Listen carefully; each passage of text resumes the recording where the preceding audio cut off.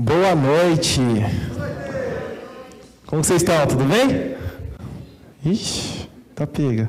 Corinthians ganhou, gente. Pode ficar feliz. Boa noite, irmãos. Vamos compartilhar uma palavra aqui. Bom, vocês não estão vendo o pastor Bruno, né? Aqui, me esforcei para parecer o máximo com ele. Tentei deixar o topete em pé, não deu, juro, meu. Tentei passar uma maquiagem para ficar mais branquinho. Tá quase lá, mas não tá quase, não tá igual, tá? Mas nós vamos compartilhar uma palavra hoje aqui. O nosso querido pastor não está aqui hoje porque ele está em São Paulo, né? Ele juntamente com a pastora Bruna Prisão está lá para trabalhar, né? Então eles passaram a semana é, atendendo as questões da empresa deles, né? E agora no final de semana eles estão pregando lá, tanto o pastor quanto a pastora. Eles tiveram um seminário é, de pastor lá, mas semana que vem ele já está de volta aqui com a gente. Amém? Mas nós vamos dar continuidade aqui e compartilhar a palavra de Deus hoje aqui. Então nós estamos falando sobre um homem, né? Qual o nome desse homem? Jonas, né? Jonas, um homem na, na rota de fuga. Quase que eu falei na ruta de folga. né? Um homem na rota de fuga. Nossa, o cérebro deu bagunçou aqui. Então, vamos recapitular um pouquinho aqui, irmãos, da história de Jonas. O que, que aconteceu? Quem era Jonas? Para que, que ele existia? Qual foi o propósito dele? Então, a Bíblia diz assim que Jonas era um profeta. E Deus chama Jonas para pregar para uma cidade em específico. E o nome dessa cidade era Nínive. Só que quando Deus chama Jonas para ir para Nínive, Jonas sente muito medo. Né? Essa música que o Mateus cantou aqui seria muito bom para Jonas. Porque Jonas sentiu muito medo. E por que, que Jonas sentiu tanto medo de obedecer ao Senhor naquele dia? Porque a cidade de Nínive era uma cidade de homens completamente acostumados a guerras, né? Era um povo carnívoro quase. Então Jonas falou: se eu for para lá, eu vou morrer. Quem aqui gostaria de ir para um lugar que saberia que vai morrer? Levanta a mão. Ninguém. Aí a gente fala: nossa, Jonas, como você era ruim, hein? Mas muitas vezes, nós, se nós nos colocarmos na situação de Jonas, nós percebemos o quão difícil era. Ele tinha que ir para um lugar que ele corria o risco da própria vida. E esse foi o risco de Jonas obedecer. Mas só que aí Jonas falhou em algumas coisas. E a primeira falha de Jonas foi não obedecer ao Senhor. Porque se o Senhor mandou, o Senhor ia cuidar dele. E aí Jonas começa a tomar atitudes pelas suas próprias conclusões. E aí o que Jonas fala? Quer saber de uma coisa? Eu não vou para Nínive a coisa nenhuma. Eu vou viver a minha vida do meu jeito e como eu quero. E a Bíblia diz assim então que Jonas pega e vai para Jope, uma cidade, lá ele compra uma passagem e vai para outra cidade lá que se chamava Tarsis. Então imagina assim, irmãos, é como se Nínive, que é a cidade que ele deveria ir, fosse ao norte, e Tarsis, a cidade que ele acabou fugindo, fosse ao sul. E para você ter ideia, porque tipo assim, tem gente que faz as coisas, mas tem gente que faz as coisas direito. Jonas fugiu, mas ele fugiu direito. Sabe por quê? Porque os estudos dizem, hoje nós conhecemos o planeta Terra, né? Que ele é quadrado, se chegar na borda você cai. Não, tô brincando. Né? Que o planeta Terra é redondo, que tem é, a Europa, que tem o Brasil, que tem os Estados Unidos, enfim, todos, todos, todos os planetas. Eu falar, nossa, tô bem, tô bem concentrado. Todos os países, né, os continentes. Mas naquela época o conhecimento não era tão vasto. Então os estudos dizem que a cidade mais distante, conhecida até então, uma delas era Tarsis. Então, quando Jonas decide fugir, ele não está só fugindo, sabe o que ele está falando? Quer saber? Eu vou literalmente para o fim do mundo. Coisa de mãe, né? Já viu mãe brava? Como que é mãe brava? O dia que eu sumir, o dia que eu desaparecer, você não vai me encontrar. Não é verdade? Mãe é assim. Jonas deu uma de mãe e foi para o fim do mundo mesmo. Ele falou e sumiu. Né? Então Jonas não apenas fugiu, mas ele fugiu de verdade. E a Bíblia diz assim que enquanto ele estava no barco, ele estava lá tran tão tranquilo no barco que a Bíblia diz que Jonas estava fazendo, sabe o quê? O que eu e você gostaria de estar fazendo agora. Ah, ah vai, é verdade. Também, né? É verdade, está viajando, uma boa também. Ele estava fazendo duas coisas, estava dormindo e viajando. Olha que bem, seu irmão, você dentro de um navio, cinco estrelas, dormindo, dormindo não, fica acordado, né, Léo? Dormindo, dorme em casa. Mas ele estava ali dormindo, irmãos, de tão tranquilo que ele estava. E a Bíblia diz assim, então, que os tripulantes da embarcação vão, acordam ele e falam: Rapaz, vou morrer que está dormindo aí. Aí Jonas acorda e sabe o que, que Jonas faz? Fala comigo: Nada. Entendeu? Mar, nada. Não, cadê? Jonas não faz nada. E os homens falam para ele: é, ajuda a gente, vamos orar, vamos fazer alguma coisa. E Jonas não tem nenhuma posição. Então a Bíblia diz assim que os tripulantes da embarcação começam a jogar as coisas para fora do barco, para tentar deixar o barco mais leve para o barco não ir a pique. Mas a Bíblia diz assim que nada resolvia. Então a Bíblia diz também que aqueles homens começam a orar e falar para Jonas: ora para o teu Deus também. E Jonas, mesmo assim, não faz nada. E aí, em um dado momento, eles começam a conversar. E eles falam assim: Jonas fala, a culpa dessa tempestade aqui é toda minha. Aí ele fala, mas quem que é você? Imagina, alguém falar para você, rapaz, essa tempestade é culpa minha. Nossa, então quem que é você?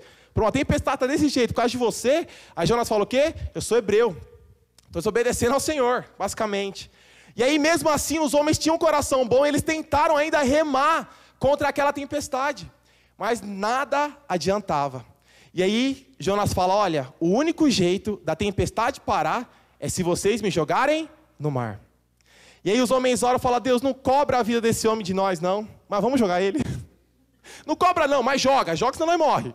Né? E a Bíblia diz assim: então, que eles jogam Jonas, e quando eles jogam Jonas, a tempestade, ela acalma. Como num passe de estalar de dedos. Achei que ia falar de mágica, né? Surpreendi vocês. No estalar de dedos, a tempestade acaba. E aqueles homens então adoram ao Senhor, agradecem por aquilo, e Jonas, que estava no mar, agora é engolido pelo grande peixe. Isso é mais um leão, mas pode ser conhecido por mim como grande peixe. Então aqui começa um novo tempo na vida de Jonas. Aqui agora Jonas vai passar por um tempo de tratamento para ele entender qual é a boa, perfeita e agradável vontade de Deus para a vida dele. E o mais interessante sobre isso é que o que Jonas viveu dentro daquele grande peixe ainda tem muito a ver comigo e tem muito a ver com você também.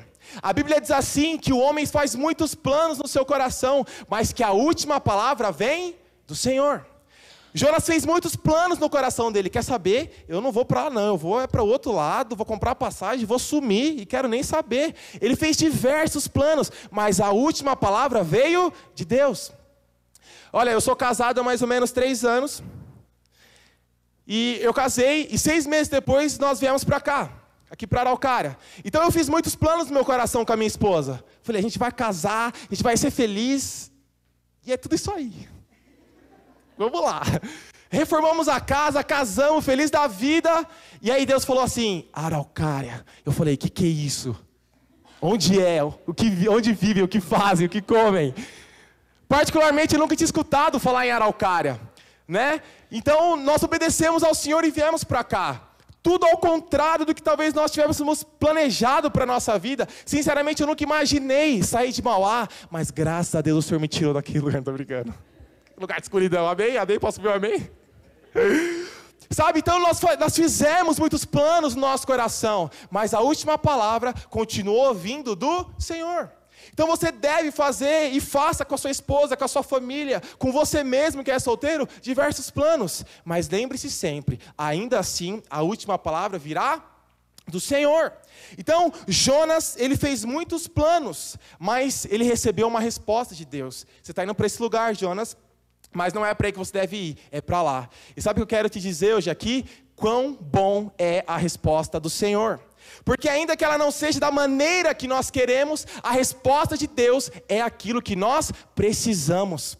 Naquele momento, a resposta de Deus para Jonas não veio da maneira como ele queria, mas veio do jeito que ele precisava. Então, às vezes, você olha para a sua vida, você não entende muitas coisas, e você pergunta: por que desse jeito, Senhor? Às vezes a maneira não veio como você gostaria, e deixa eu te contar um segredo a mais. Você nem precisa entender o porquê não é do jeito que você gostaria. Você só precisa entender que a vontade dele para a sua vida e os meios que ele usa são os melhores para mim e para você. E quando nós cremos nisso e temos paz com Deus a respeito disso, nós descansamos e vivemos felizes e alegres, mesmo em momentos difíceis, porque nós entendemos que o Senhor usa dos seus meios para nos levar para um lugar ainda melhor. O Senhor usou dos seus meios, me tirou de Mauá e me trouxe para um lugar ainda melhor. Aleluia. Araucária é uma benção, eu amo morar aqui. Não sei você, mas eu sou apaixonado por essa cidade. É tão tranquilo. Sério, quando eu vim para cá, nós viemos de final de semana fazer o Filhos da Paz. Irmão, eu chegava aqui de domingo, eu falava, vocês estão zoando, tá tudo muito escondido, né? Vai, pode sair, é pegadinha. Cara, não tinha ninguém na rua. Fala, como assim? E como que onde tem o McDonald's? Não tem? Não, não, peraí, como não tem? É, onde está? Me fala.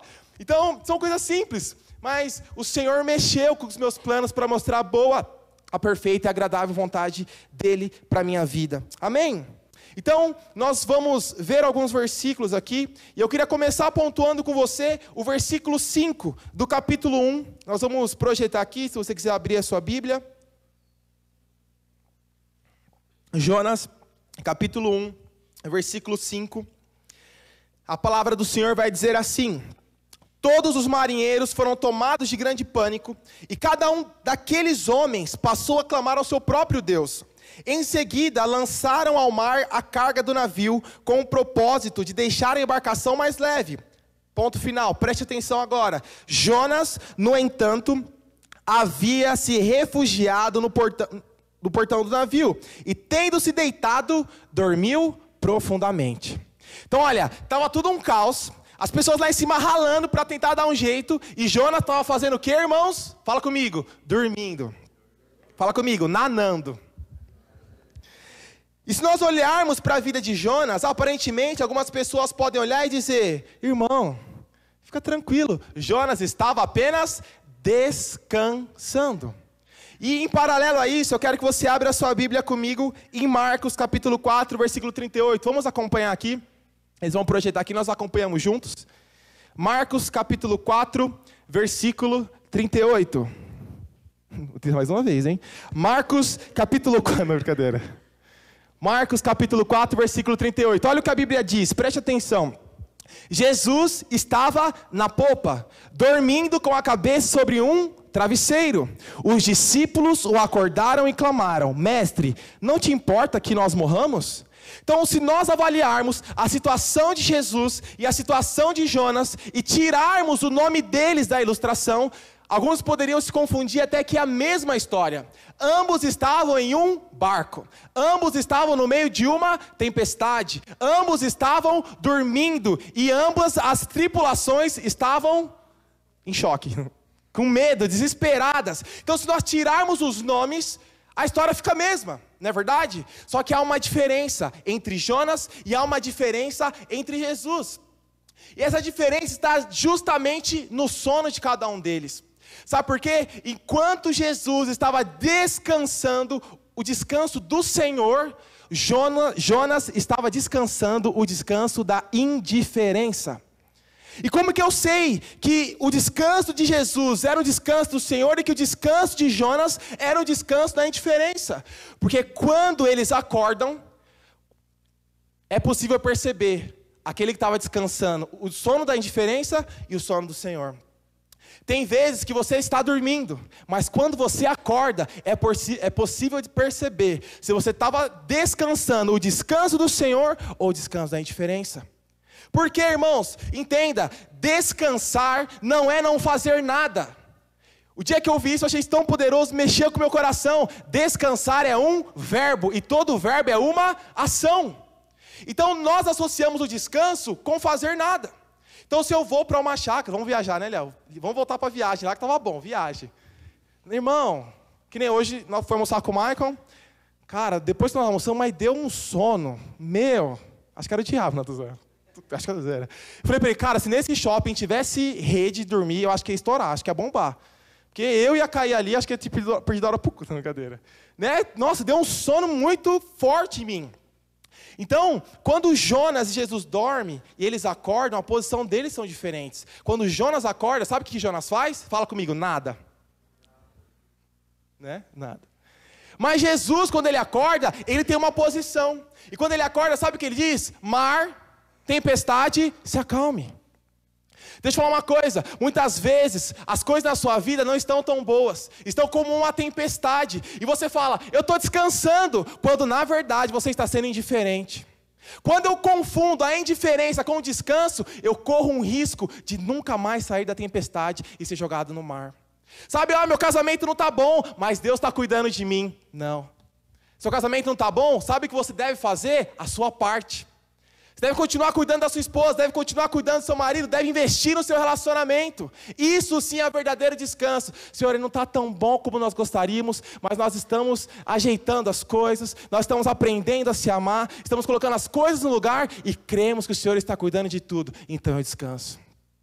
Agora, se meu casamento não está bom, e eu não faço questão nenhuma de melhorar. É para eu ficar com a minha esposa em casa, eu vou jogar bola. Os caras, bola, futebol, segunda, vamos, partiu. Ou então não está bom e a esposa não faz nada para agradar o marido. Isso não é descanso, isso se chama indiferença. Ah, senhor, meu trabalho não está bom, não estou feliz com o meu salário. Aí você fala, estou descansando. Só que aí você começa a trabalhar de qualquer jeito. Isso não é descanso, isso é indiferença. Não é a sua atitude de fazer que vai mover o, coração, que vai mover o coração de Deus a fazer algo, porque Ele nos ama e Ele nos abençoa independente de qualquer coisa. Mas continuar honrando os meus compromissos mostra que eu tenho seriedade com aquilo que Deus já me deu. Então, deixa eu te falar uma coisa: o descanso do Senhor está reservado, reservado para você. Só tome cuidado para não ser indiferente. Não seja indiferente com seus filhos, não seja indiferente com a sua esposa, não seja indiferente com o seu marido, não seja indiferente com seus estudos, não seja indiferente com o seu trabalho, não seja indiferente com a sua vida. Por quê? Porque o Senhor colocou ela, tudo isso na sua mão, para que você tenha uma ação, e Ele vai te abençoar.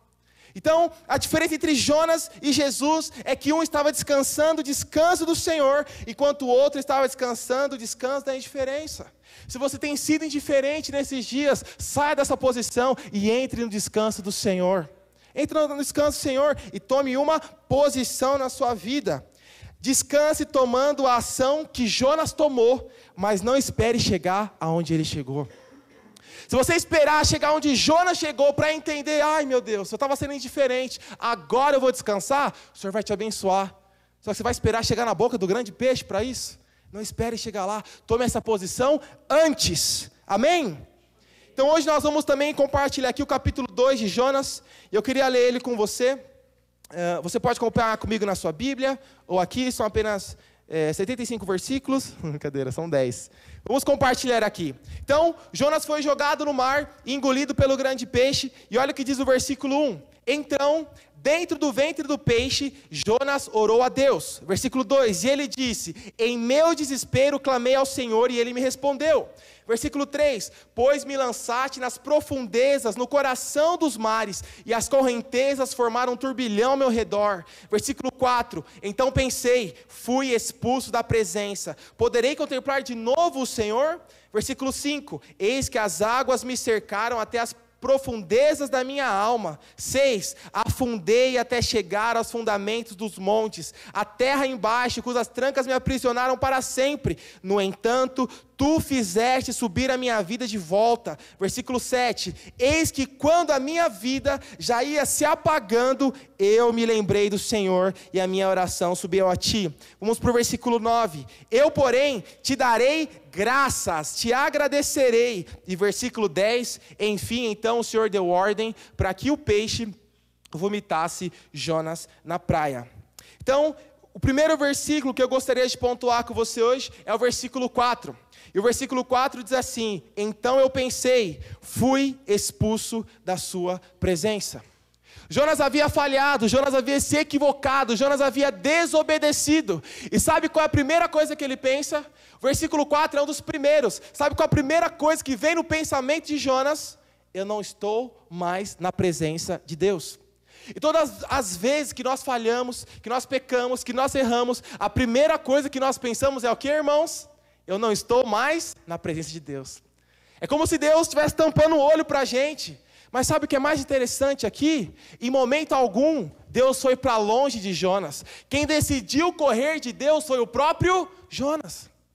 E muitas vezes esse é o nosso coração. Deus nunca foi, e aprenda isso, Deus nunca vai ir para longe de nós. Muitas vezes somos nós que tomamos a posição de correr para longe de Deus.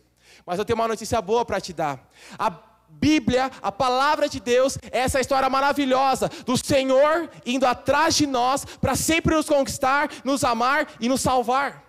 A palavra de Deus diz que nós vamos conhecer o quão profundo, o quão largo e o quão alto é o amor de Deus. E sabe por quê? Porque não importa o tamanho do buraco que você entre, o amor de Deus é tão profundo que ele te alcança lá. Sabe por que o amor de Deus é tão largo? Porque não importa o quão longe você corra para Ele. Jonas queria fugir para o fim do mundo. E o amor de Deus ainda alcançou ele lá. Sabe, não importa para quão longe você corra de Deus. Eu quero te falar uma coisa: o amor dele está correndo atrás de você em passos muito mais rápidos que os seus. E ele vai te alcançar. E quando o amor de Deus te alcança, você se sente completamente amado. Sabe? Às vezes você está perdido no caminho do Senhor. Eu lembro um dia, acho que eu já comentei isso, eu me perdi na praia da minha mãe. Não que minha mãe tinha uma praia. Eu, eu estava na praia e perdi da minha mãe. Irmão, que momento desesperador. Aquela coisinha escura, assim, desse tamanho. Sunguinha verde, reluzente, perdido. O rapaz ali me pegou, hora que eu olhei o negão. Falei, pronto, ninguém vai saber que eu estou perdido. Vai chegar meu pai. Cara, e nós fomos andando, andando perdido, cara. Eu estava indo na direção oposta que minha mãe estava. Aí nós decidimos virar para o meio das, barra das barracas, não é barraca? Não. Não, tem no tabernáculo. Guarda-sol, guarda-sol, dentro dos guarda-sol lá. A hora que eu entrei, irmão, puf, levei uma barrigada da minha mãe. Foi a barrigada mais linda da minha vida que eu já levei. Sério, foi a barrigada mais maravilhosa. Sabe, muitas vezes essa é a nossa vida. Nós estamos correndo de Deus, correndo de Deus perdidos. Quando nós menos esperamos, bum, damos uma barrigada, né? Uma barrigada no Senhor não, né? Mas batemos de encontro com o amor do Senhor por nós. E aquilo, sabe, aquela barrigada foi a barrigada mais confortante, mais cheia de amor que eu pude ter na minha vida. Porque minha mãe estava louca, me procurando para me abraçar, me beijar e dizer que me amava. Aí eu já pedi, me dá dinheiro então. Filho, né? Então dá um dinheirinho. Sabe, a mesma coisa com o Senhor. Quando você encontra com Ele, mesmo perdido, é tão confortante, é tão gostoso, é tão maravilhoso. Porque quando você encontra com Ele, ainda que perdido, você se lembra: é verdade, Pai. Você só queria me abençoar, você só queria me amar, me perdoa porque eu fui para longe. Eu quero ficar aqui nos teus braços. Irmão, você acha que aquele dia na praia, eu, eu saí de perto da minha mãe de novo? Grudei na perna, eu falei: vamos para a água. Saí nada, fiquei juntinho dela ali, o máximo que eu pude. Mesma coisa é com o Senhor. Depois que você encontra com Ele, você percebe tudo que Ele é, você gruda e você nunca mais quer sair de perto. Sabe? Então entenda isso. Você nunca, você jamais será expulso da presença de Deus. Nunca, de forma alguma. E ainda que você corra para longe dele, o amor dele vai alcançar você aonde você for. Você pode dar glória a Deus por isso? Você pode falar, obrigado, Jesus. Amém? Olha o que a palavra diz em Hebreus 13, 5: Fiquem alegres com tudo que você tem, porque Ele mesmo declarou: Por motivo algum eu te abandonarei, por motivo algum eu te desampararei. Não existe motivo que faça o Senhor te abandonar. Nunca existiu e nunca vai existir.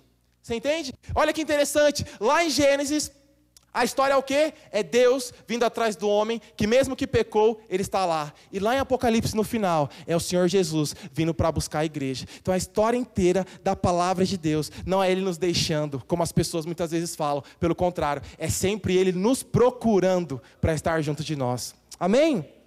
Ele sempre será fiel. No versículo 5, a Bíblia diz assim: vamos dar continuidade. Eis que as águas todas me cercaram até as profundezas, por fora, opa, até as profundezas da minha alma. Jonas estava numa situação em que as profundezas da alma dele foram tocadas. Jonas estava numa situação em que as profundezas da alma dele foram reveladas. Então, muitas vezes por fora nós estamos felizes, alegres, sorridentes, mas só você sabe como está as profundezas da sua alma. Você, como ninguém, é capaz de conhecer as profundezas da sua alma e o que se passa lá dentro. Às vezes por fora está tudo bem, está tudo tranquilo, mas nas profundezas da minha alma dói. Nas profundezas da minha alma eu choro. Sabe por quê? Porque você está dentro de uma baleia por um tempo que você não sabe se vai acabar ou não. Olha, olha a situação de Jonas. Ele estava preso dentro de um grande peixe. Qual era o pensamento que vinha na cabeça de Jonas, irmãos? Muito provavelmente, vou morrer. Ele não sabia quando ele ia sair dali ou se ele ia sair dali. E com isso eu quero te fazer uma pergunta. Quem aqui gosta do final de semana? Meu. Não, final de semana, rapaziada. Ô, oh, futebol, churrasco, macarronada da mamãe. Vamos lá, quem gosta do final de semana? Meu, não chamo vocês para mais nada, velho. Irmão, o final de semana é bom ou não é? É um dia assim, a gente tem para descansar o outro e olhe lá, mas fala para mim aqui, como que passa o seu final de semana? Devagar ou rápido? O meu passa voando, é como se ele não existisse. Sexta eu acordo e falo, sextou. Ué, segunda? O que aconteceu? É rápido, voa. Três dias passam como? Uf, muito rápido. Agora, quantos dias Jonas ficou dentro da baleia? Fala comigo, três. E eu quero te perguntar: esses três dias para Jonas foram rápidos ou foram eternos? Cara, foi para sempre. Quanto tempo ficou na barriga do peixe lá, Jonas? Para sempre. Foi muito tempo. Sabe por quê? Porque todas as vezes que você passa por uma situação muito difícil, sabe o que você pensa? Não vai acabar nunca. Eu não vou sair daqui jamais. Eu não vou passar por isso de jeito nenhum. Eu vou morrer desse jeito. E a mesma coisa era com o Jonas. Sabe o que ele pensava? Eu vou acabar aqui. Eu vou morrer aqui. Os irmãos aqui foram no Beto Carreiro World. Andar de cavalo. Eles foram numa. Como que é o nome do negócio que cai? Big Suicídio. Irmãos, de falar disso, já me faltou hora aqui, peraí. Você é doido, eu passo mal só de ver. Fala pra mim, quando você sobe, é devagar ou é rápido? Devagar. E quando você cai? Não, mas a sensação é o quê? Que nunca acaba. E quem está lá embaixo? Ó, oh, subiu, caiu. O irmão sai como? Pode ir. Subiu, caiu, pode sair. Ué, irmão, estão servindo, servindo uísque lá em cima? Olha, para quem está fora da situação, o momento é como? Rápido. E para quem está dentro? eterno, não acaba nunca. Mas a questão que eu quero falar com você hoje aqui não é se demora ou se é rápido. O que eu quero falar com você é sobre o que a Bíblia diz em Mateus 34, 35. A palavra do Senhor fala assim: céus e terra passarão, mas a sua palavra não passará. E o que isso tem a ver com a minha situação, Lucas? Tem a ver, sabe o quê? Que tudo passa e a sua situação também vai passar. Tá difícil, tá apertado, tá estranho, mas fique em paz. Fala comigo, vai passar. Vai passar e daqui a um tempo essa situação vai ser, sabe o que? Apenas uma lembrança. Apenas uma lembrança. Eu nunca esqueço o divórcio dos meus pais. Foi duro, irmãos. Era novo. Escurinho, já era assim já, mas continuava escuro. Sabe, foi difícil, foi difícil para mim, foi difícil ver a minha mãe sofrer daquele jeito. Eu nunca tive ódio do meu pai, sempre, nossa, amo meu pai, se eu pudesse, carregava ele no colo. Sabe? Porque o perdão de Jesus me alcançou, então alcança ele também. Mas sabe, irmãos, quando eu olho hoje para a situação, sabe o que, que eu vejo? Passou. Sabe o que é essa situação na minha vida? Só uma lembrança. Só uma parte da minha história. Deixa eu te falar uma coisa. E que fez eu crescer, amadurecer e aprender. Então, se está difícil, lembre-se de uma coisa: vai passar. Vai passar. Senhor, está difícil agora, mas daqui tanto tempo vai passar. Né? O pastor falou, oh, ministra domingo. Eu falei, ministro, pastor, está tranquilo? Com certeza. Aí você acorda domingo e fala, nossa, meu, pregar, né? Fico nervoso. Aí deu 11 horas, o que aconteceu, irmão? Passou. Aí beleza. Uh, aí lembrei de pregar à noite. Igual os irmãos saindo da Big Tower. Mas sabe quando é 8 horas, sabe o que eu vou pensar? Passou, os irmãos foram abençoados, foi um tempo gostoso, onde nós compartilhamos a palavra de Deus. Não sei o que está passando, mas, como diz a própria palavra, vai passar. Por isso, descansa no Senhor. Está ruim, está difícil, está apertado, mas vai passar. E por isso, eu quero encher o seu coração de esperança hoje, porque o Senhor Jesus está cuidando de você. Versículo 7. Eis que quando a minha vida já ia se apagando, olha o que ele diz: Eu me lembrei do Senhor, e a minha oração subiu à Sua presença. Você esqueceu de Deus? O importante e o problema não é se você esquecer dele, mas o, o importante é como Jonas, quando você se lembra dele. E o mais interessante é que a palavra do Senhor fala, Jonas diz: A minha oração subiu ao Senhor. Irmão, orar é importante demais. Lá em Apocalipse, preste atenção nisso, preste atenção nisso. Em Apocalipse diz assim: que no céu existe uma taça de ouro, e dentro dessa taça de ouro, sabe o que tem dentro dela? Incenso. E, e a Bíblia diz assim: e o incenso é a oração dos santos. Sabe o que é incenso? É um cheiro agradável, é um cheiro gostoso. Hoje o Marco estava no shopping, falou, vamos ver o perfume ali. Quando viu o preço, 500 reais. Eu falei, não, precisa ver não, tá bonito ali na, na prateleira, deixa lá. E a moça falou, Tocha, experimenta esse aqui. E nós ficamos ali, irmão, sentindo o cheiro. Sabe por quê? Porque é gostoso. Quando você ora, sobe um cheiro tão gostoso para Jesus que ele fica ali te ouvindo. Ele fica ali te ouvindo. E você às vezes deixa de abrir o seu coração para Deus. E sabe uma coisa que Deus ama? Uma coisa chamada transparência.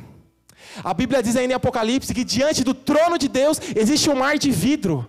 Como que, é o, que, como que é o vidro, irmãos? O vidro é transparente. Tem gente que até bate a cara no vidro, né? Nossa, não vi. Tão transparente que ele é. Quando você entra diante da presença do Senhor, a sua vida deve ser um mar de vidro. Senhor, eu te amo, eu te desejo, queria que tal coisa fosse diferente, mas estou feliz. Obrigado por isso, obrigado por aquilo, porque a sua vida diante da presença de Deus deve ser um mar de vidro, transparência. Por isso, gaste tempo em oração. Quando eu e a Andresa fazíamos corte, que é o nosso padrão de relacionamento, é o nosso namoro, e a gente, na verdade, ainda não fazia corte, mas nós queríamos muito começar a corte. Uma lata dessa não dá para deixar aquilo passar, né, gente? Avião passa rápido na sua brincadeira. E eu falei, não, vamos orar. Meu Senhor é poderoso, e esse que te digo. E a gente orou, falei, vamos orar um mês. Nós éramos discipuladores de adolescentes, e naquela época nós queríamos ser padrão para os adolescentes. Então os adolescentes começaram a muito gostar, aquela coisinha e tal, e falei, vai dar ruim para os adolescentes. Então a gente falou, vamos orar um mês. E aí, quando faltava acho que uma ou duas semanas, assim, para dar um mês, né? Ela, a gente entrou para conversar, ela falou: ah, melhor a gente acabar. Eu falei: só se for com a minha vida, para ficar sem você. Depois vocês contam para ela que eu falei isso aí, beleza? Vamos fazer essa aliança aqui, tô zoando. Eu falei: como assim, meu? Faz comigo não. Não, é, ela falou: não, é por causa da rede. Eu falei: não, eu concordo com você, mas vamos terminar nosso propósito. Nesse tempo que nós terminamos de orar, o Senhor me abençoou não com um emprego, com dois. Julius, é nós. O Senhor me abençoou. E sabe, não foi nenhum mérito meu. Eu estava procurando, eu estava entregando o currículo, e coincidentemente, os dois lugares que me chamou, não foram lugares que eu fui atrás. Parecia que Deus queria mostrar, eu cuido de você. Mas eu não fiquei como Jonas sem fazer nada. A minha parte eu estava fazendo. E o Senhor é bom. Então, você precisa ter uma vida de oração. O meu demorou um mês. Talvez você vai orar três meses, um ano, dois anos, não importa. Você precisa continuar crendo que o Senhor está te ouvindo. E que essa oração está subindo como um incenso agradável a Ele. Amém. Versículo 9. Para nós quase encerrarmos. Só tem esse versículo mais um. Versículo 9 diz assim: Eu, porém, te oferecerei sacrifícios com voz de agradecimento. E sabe, eu quero te perguntar hoje aqui: você consegue ser agradecido pela sua esposa? Ixi, ah, teu bom, esse aí se deu garantiu hoje. Os outros deu ruim. A Amanda já tá ali, você não agradece por mim? Vou dar mais uma chance. Você consegue ser agradecido pela sua esposa, meu irmão? É, agora os caras veio forte. Agora eu perguntar aí as esposas, consegue ser agradecido pelos maridos? Ih, foi fraco, mas veio. Foi fraco, mas veio. Você consegue ser agradecido pela sua mãe, pelo seu pai? Você consegue ser agradecido pelo seu filho? Quando o seu salário cai lá na conta e você abre o aplicativo no celular, você consegue olhar para aquilo e dizer obrigado, Jesus? Você consegue ser alguém agradecido? Olha, Jonas estava dentro de um grande peixe, com uma vida horrível, sem saber se ia sair dali, mas sabe o que ele diz? Eu vou te agradecer. Eu vou te agradecer. Mas Jonas está tudo ruim. Ele é bom. E eu vou agradecer ao Senhor. Você precisa ter um coração completamente agradecido. Eu, particularmente, graças a Deus, irmãos, nunca passei necessidade. Meus pais, muitas vezes, puderam suprir até mesmo as minhas vontades. Mas sabe, quando eu vou no mercado com a minha esposa e eu preciso fazer uma despesa, logo depois que passa os produtos de limpeza, que é mais caro que um carro, eu agradeço, não, brincadeira. Né? O negócio para ser caro, quanto que é o que boa? 15 reais, mas é para tacar no chão. Nossa, gente. Muito caro, né? Mas sabe, todas as vezes que eu vou para ali, de forma tão espontânea, quando a moça está passando os produtos no caixa e olha para aquela tela e o valor não diminui, eu olho e falo, desce, desce, não desce, só sobe. Eu falo, eu sou um homem de pouca fé. Sabe que eu olho, eu falo, Senhor, obrigado, obrigado, Jesus. É tão simples, mas é falar, amor, quero um chocolatinho, pega a vida. Ah, mas tô de regime, então não pega, paixão. Tá falando que eu tô gorda? Não, vida, é só que você quis chocolate, não sei. Complica pro cara, né? Mas sabe, eu fico com o coração tão agradecido, irmãos, por poder fazer uma despesa. Olha, não vai achando que minha despesa Não, não, minha despesa é 200 reais, 250. Casal, irmão, casal, aquela coisa. Faz almoço hoje, amor, hoje não dá. Então tá bom. Eu faço, mentira, não faço não. Mas sabe, eu sou tão agradecido por isso, porque tem tantas pessoas que queriam estar fazendo aquela despesa e não podem. E o Senhor me abençoou. E sabe, eu só quero agradecer pela esposa maravilhosa que Ele me deu, pela vida abençoada que o Senhor me deu. Sabe, eu quero agradecer por poder, Senhor Jesus, passar no mercado e comprar um chocolate de 1,50, porque eu amo comer chocolate, eu tenho condição de comprar. É 1,50, muita gente tem, eu sei, mas eu estou feliz porque o Senhor me abençoa para isso. Ser agradecido por aquilo que o Senhor te faz. Ah, mas vou agradecer por causa da água quente do chuveiro? Fica sem. Vou agradecer pela energia? Fica sem. Vou agradecer pela água? Ah, irmão, fica sem água. O homem já é fedido, sem água então?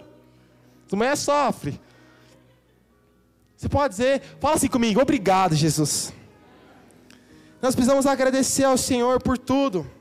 Nós precisamos ter sempre um coração agradecido, mas mais uma vez eu quero te falar: não espere chegar na condição que Jonas chegou para aprender isso.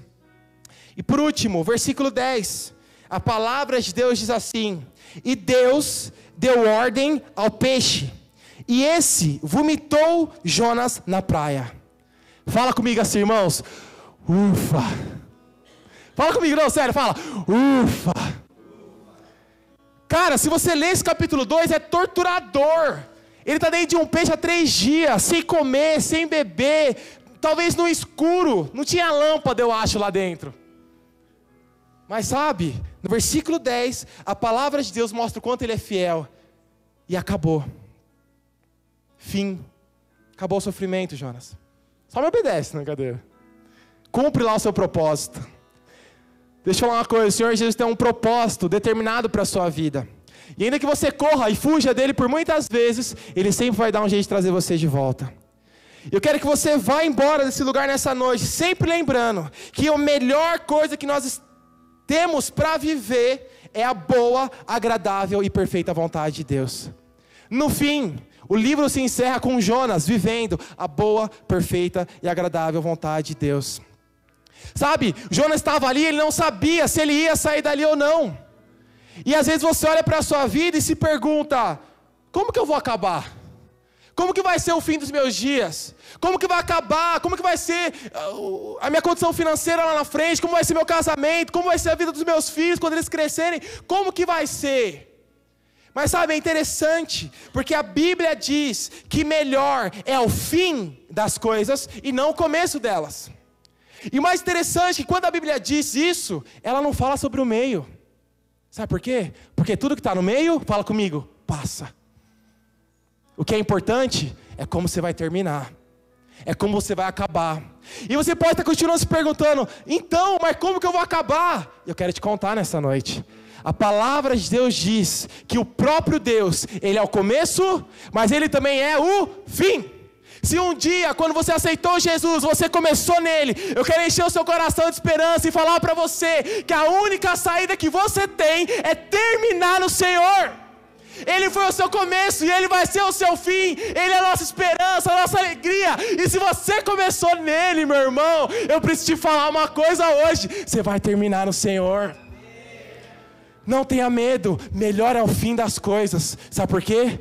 Deus estava comigo no começo está de mãos dadas comigo no meio, que muitas vezes é turbulento, mas você mal sabe e ele já está na linha de chegada te esperando para te abraçar. Aleluia!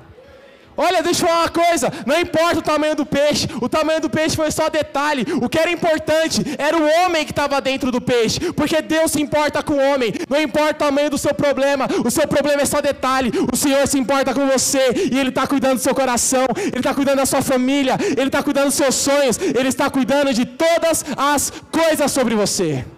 Sobre tudo, sobre tudo, sobre tudo. Sim, sobre todas as coisas sobre você. Eu quero declarar sobre a sua vida hoje: você vai ter uma vida próspera. Você vai ter uma vida próspera na sua saúde, no seu casamento, na sua família, nos seus sonhos, nas suas finanças. Sabe aquele carro que você sonha? Você vai andar nele. Sabe aquela viagem que você tanto deseja? Você vai viajar ela. E tudo isso cumprindo e vivendo a boa, perfeita e agradável vontade de Deus para a sua vida. Você pode fechar os teus olhos? Você pode olhar para a sua própria vida agora? Você pode perceber o momento da sua vida que você está vivendo? Talvez você está vivendo um, um momento da sua vida de muitas dúvidas, de muitos questionamentos, de muitos porquês. E eu quero te convidar a fazer o que Jonas fez. Fala para o Senhor agora. Talvez você está vivendo na sua vida um tempo de decisões. E eu quero te convidar a orar nessa noite, abrir o seu coração diante de Deus.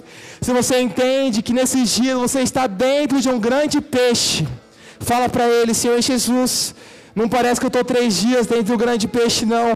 Parece que eu estou meses, anos. Diga para o Senhor agora. Abra sua boca e fale para Deus como está a sua vida hoje. Enquanto eles ministram essa canção, eu quero te dar a oportunidade de orar ao Senhor e dizer para Ele como está a sua vida, como está o seu coração, e ser sincero com o Senhor Jesus. Seu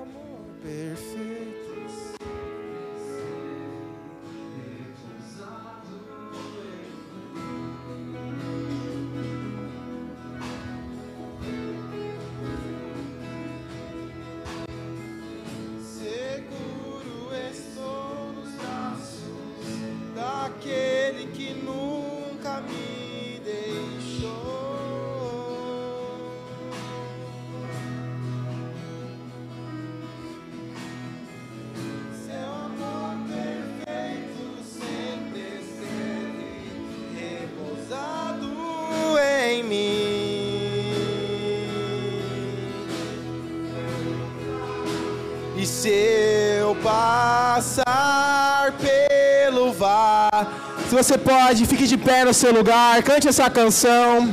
Dei conforto em teu amor, pois eu sei que és aquele que me guarda, me guarda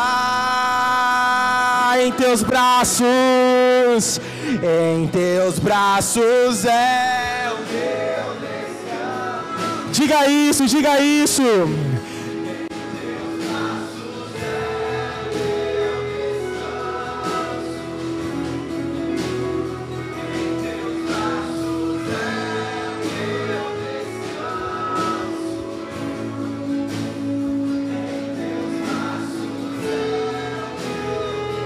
Aleluia.